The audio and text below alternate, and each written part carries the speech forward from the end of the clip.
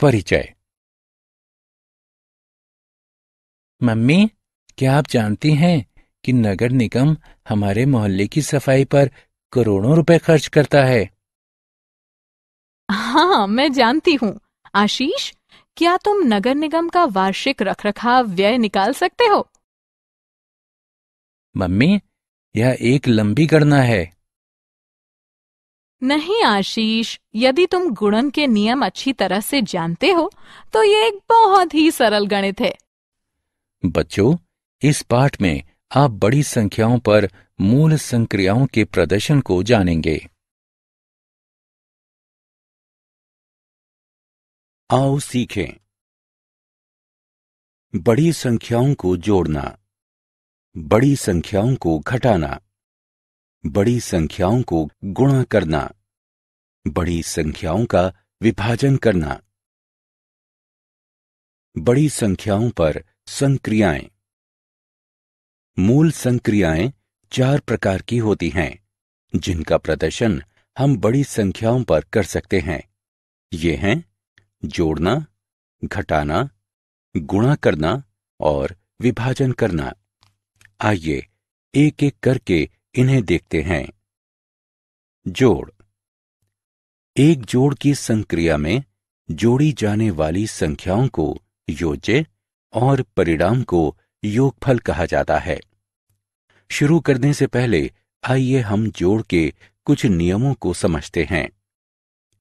एक संख्या को शून्य से जोड़ने पर वही संख्या प्राप्त होती है। शून्य को योगात्मक सर्वसमिका या एक रूपता के नाम से जाना जाता है। जैसे चार, पाँच छ सात, दो, तीन, चार, नौ में शून्य को जमा करने पर हमें चार, पाँच छ सात, दो, तीन, चार, नौ ही प्राप्त होता है। एक संख्या और एक को जोड़ने पर संख्या का परवर्ती प्राप्त होता है। जैसे छ सात चार दो एक नौ शून्य आठ में एक जमा करने पर हमें छ सात चार दो एक नौ शून्य नौ प्राप्त होता है, जो कि मूल संख्या से ज़्यादा है। योज्यों का क्रम योगफल या जोड़ को प्रभावित नहीं करता है। आइए अब बड़ी संख्याओं को जोड़ना सीखते हैं। हम तीन बड़ी संख्याओं, तीन दो चार पाँच छ सात आठ नौ, एक आठ सात छ पाँच तीन चार नौ और तीन चार पाँच छ सात आठ नौ दो को जोड़ने से शुरू करते हैं। सबसे पहले भारतीय स्थानीय मान चार्ट बनाते हैं। अब संख्याओं को एक दूसरे के नीचे लिखते हैं। संख्याओं को जोड़ते हैं। इकाई के स्थान के अंक से शुरू करते हैं। फिर आगे दहाई के स्थान, सैकड़े के स्थान और इसके आगे बढ़ते हैं। अतः हमें योगफल आठ, पाँच, सात, नौ, शून्य शून्य, तीन, शून्य प्राप्त होता है। आइए अब हम योग की एक शब्द समस्या को हल करते हैं। एक शिल्प प्रदर्शनी के पहले दिन तीन, चार नौ आठ सात छ पाँच दो लोगों ने दौरा किया।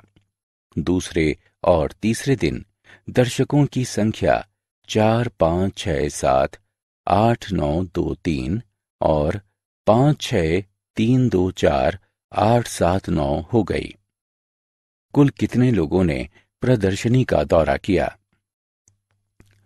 पहले दिन दर्शकों की संख्या तीन चार नौ आठ सात छ पाँच दो थी। दूसरे दिन दर्शकों की संख्या चार पाँच छ सात। घटाना या व्यवकलन। एक घटाव की संक्रिया में बड़ी संख्या व्यवकल्य कहलाती है, छोटी संख्या व्यवकल्प कहलाती है और घटाव को अंतर कहा जाता है। आगे बढ़ने से पहले आइए घटाव के नियमों को देखें। किसी संख्या में से शून्य को घटाने पर घटाव के रूप में वही संख्या प्राप्त होती है, जैसे कि तीन शून्य, छह सात, दो तीन, एक चार नौ में से शून्य घटाने पर तीन शून्य, छह सात, दो तीन, एक चार नौ ही प्राप्त होता है। किसी संख्या में से एक को घटाने पर उस संख्या का पूर्ववर्ती प्राप्त होता है, जैसे कि सात चार छह दो तीन एक नौ पाँच चार में से एक घटाने पर सात चार छह दो तीन एक नौ पाँच तीन प्राप्त होता है, जो कि मूल संख्या से छोटा है। घटाव की संक्रिया में संख्याओं का क्रम घटाव को प्रभावित करता है। आइए अब हम बड़ी संख्याओं पर घटाव का प्रदर्शन करते हैं। चार तीन दो नौ आठ सात एक दो तीन से नौ आठ सात छ तीन दो पाँच चार को घटाएँ। पहले भारतीय स्थानीय मान चार्ट बनाते हैं। चार तीन दो नौ आठ सात एक दो तीन व्यवकल्य है, क्योंकि ये सबसे बड़ी संख्या है। नौ आठ सात छ तीन दो पाँच चार व्यवकल्प है। क्योंकि ये सबसे छोटी संख्या है। व्यवकल्य को लिखें, इसके नीचे व्यवकल्प को लिखें। संख्याओं को घटाएँ। अब इकाई के स्थान के अंक से शुरू करते हैं। फिर आगे दहाई के स्थान, सैकड़े के स्थान और इसके आगे बढ़ते हैं। अंतर तैतीस करोड़ बयालीस लाख तेईस हज़ार आठ सौ उनहत्तर प्राप्त होता है। आइए अब हम घटाव से जुड़ी शब्द की समस्या को हल करने का प्रयास करते हैं। विजय द्वारा बैंक को एक नौ आठ दो सात तीन चार पाँच छह रुपए का ऋण वापस किया जाना है। अब तक उसके द्वारा चार पाँच तीन दो एक आठ सात नौ रुपए का ऋण चुकाया गया है। उसे शेष कितना ऋण चुकाना है? बैंक को वापस की जाने वाली कुल राशि एक नौ आठ दो सात तीन चार पाँच छह रुपए है। चुकाई गई राशि चार पाँच तीन दो। गुणा। एक गुणा की संक्रिया में संख्या जिसका गुणा किया जाता है, गुण कहलाती है। वो संख्या जिससे गुणा किया जाता है, गुणक कहलाती है और परिणाम को गुणन कहा जाता है। आइए हम गुणन के कुछ नियमों को देखते हैं। एक संख्या को एक से गुणा करने पर वही संख्या प्राप्त होती है, जैसे कि 9876 को एक से गुणा करने पर 9876 ही प्राप्त होता है। एक संख्या को शून्य से गुणा करने पर शून्य प्राप्त होता है। पाँच हज़ार छह सौ उन्यासी गुणे शून्य बराबर शून्य। जब किसी संख्या का गुणा दस से किया जाता है तो उस संख्या के दाई ओर एक शून्य जुड़ जाता है। चार हज़ार तीन सौ अट्ठावन गुणे दस बराबर तैतालीस हज़ार पाँच सौ अस्सी। जब किसी संख्या का सौ से गुणा किया जाता है तो उस संख्या के दाई ओर दो शून्य जुड़ जाते हैं। एक हज़ार दो सौ पैंसठ गुणे सौ बराबर एक लाख छब्बीस हज़ार पाँच सौ। आइए, अब हम जालक गुणा तकनीक का प्रयोग करते हुए एक दो तीन का गुणा चार पाँच छह से करते हैं। तीन पंक्तियों और तीन स्तंभों वाली एक तालिका बनाइए। शीर्ष पर आड़ी रेखा में बाएँ से दाएँ एक दो और तीन लिखें। दाईं तरफ़ ऊपर से नीचे की ओर चार पाँच और छह लिखें। विकर्ण की सहायता से तालिका की हर टिब्बे को दो भागों में विभाजित करें। एक और चार का गुणा करें। परिणाम को पहले डिब्बे में शून्य चार के रूप में लिखें।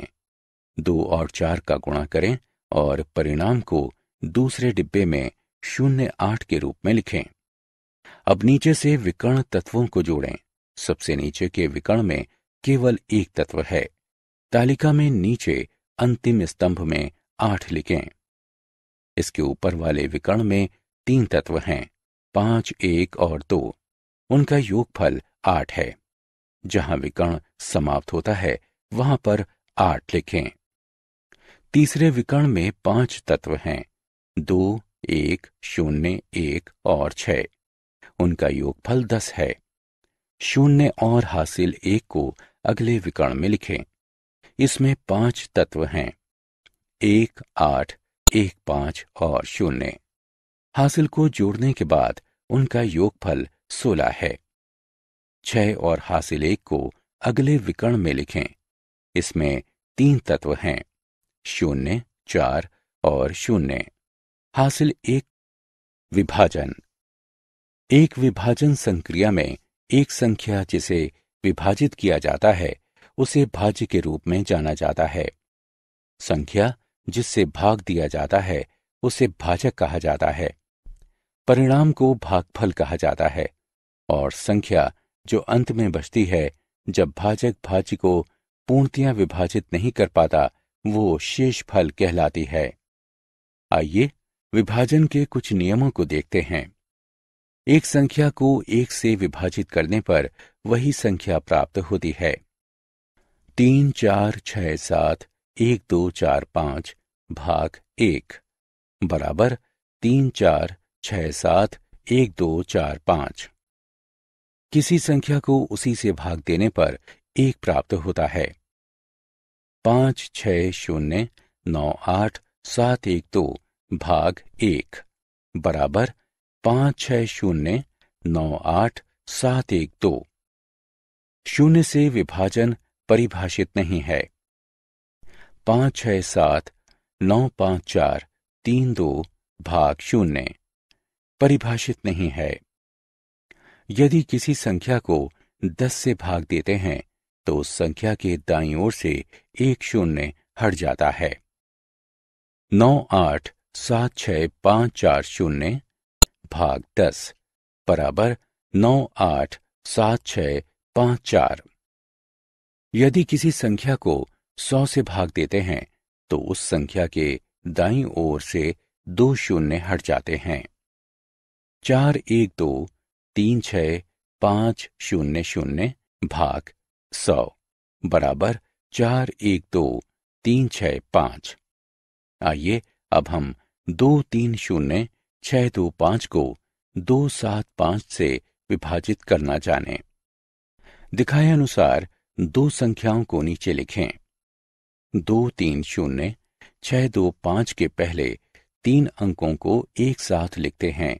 यानी दो सौ तीस।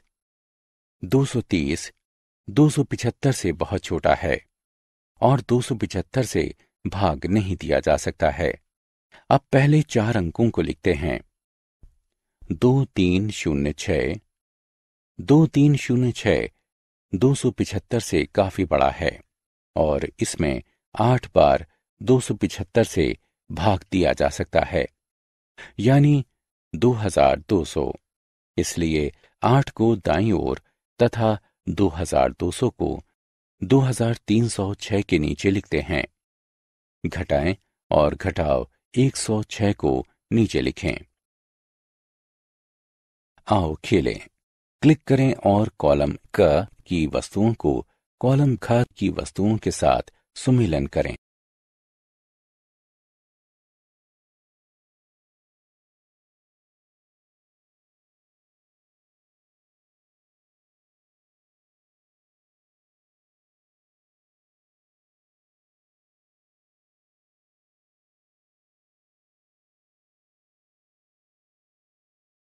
एक फूल बेचने वाले ने 2009 में चार करोड़ छप्पन लाख अठहत्तर हज़ार नौ सौ इकतीस फूल 2010 में पाँच करोड़ सड़सठ लाख बारह हज़ार तीन सौ पैंतालीस फूल और 2011 में नवासी करोड़ छिहत्तर लाख छप्पन हज़ार तीन सौ इक्कीस फूल बेचे। तीन साल में उसने कुल कितने फूल बेचे? एक लंबी दूरी का धावक 225 अंतर्राष्ट्रीय स्तर की स्पर्धाओं में एक, दो, चार, नौ नौ, आठ, सात, पाँच मीटर की दूरी तय करता है। वो एक स्पर्धा में कितनी दूरी तय करता है? एक देश में दो, पाँच, चार छ आठ आठ, सात छ चार बच्चे हर साल पैदा होते हैं। उनमें से दो, तीन, चार, पाँच, छह, सात, आठ, नौ, दो बच्चों को टीका लगाया जाता है। ऐसे बच्चों की संख्या ज्ञात कीजिए, जिन्हें टीका नहीं लगाया गया है। हमने क्या चर्चा की? एक जोड़ की संक्रिया में जोड़ी जाने वाली संख्याओं को योज्य कहा जाता है। एक घटाव की संक्रिया में सबसे बड़ी और सबसे छोटी संख्याएँ व्यवकल्य और व्यवकल्प कहलाती हैं। एक गुणा की संक्रिया में गुणा की जाने वाली संख्या और संख्या जिससे गुणा किया जाता है, गुणे और गुणक कहलाती है।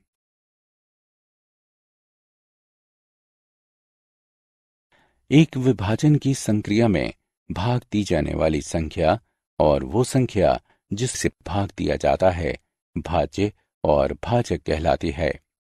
जोड़ का परिणाम योगफल कहलाता है। घटाव का परिणाम अंतर कहलाता है। गुणा का परिणाम गुणन कहलाता है। विभाजन का परिणाम भागफल कहलाता है। शून्य को योगात्मक सर्वसमीका कहा जाता है। एक को गुणक सर्वसमिका कहा जाता है।